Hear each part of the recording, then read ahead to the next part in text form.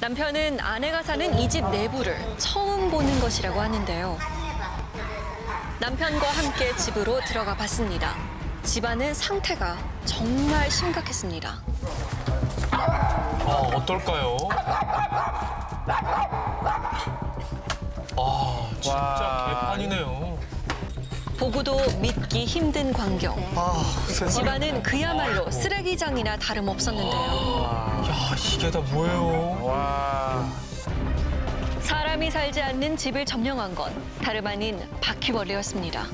정말? 와, 진짜 많은데요. 와.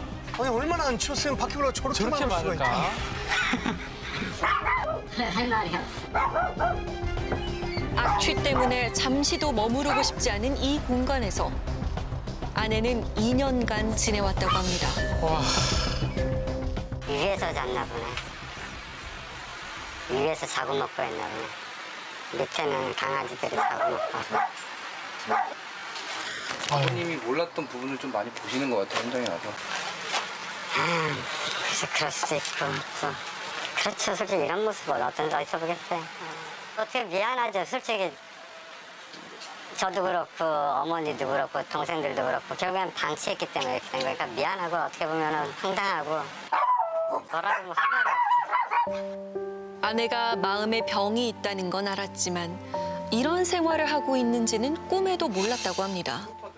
그는 9년 전 아내가 집을 떠날 때 더 확실히 붙잡지 못한 것이 후회된다고 하는데요.